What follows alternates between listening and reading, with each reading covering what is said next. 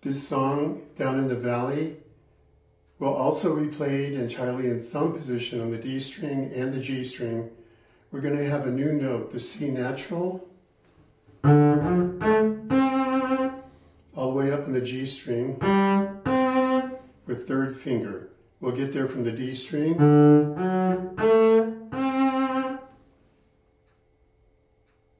Okay, here we go.